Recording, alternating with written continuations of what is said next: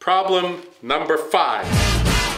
F of x equals this rational function, a ratio of two polynomials, then what is f of minus 1? So here they just want you to know that f of minus 1 means plug in minus 1 for x.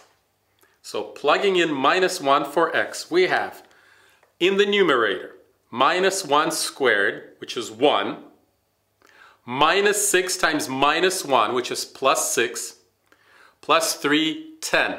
So in the numerator we have 10. In the denominator we have minus 1, minus 1, which is minus 2. 10 divided by minus 2 is minus 5. The answer is A. And I hope that for a problem like this, you don't write anything on a piece of paper. I think you are more likely to get it wrong if you start scribbling it.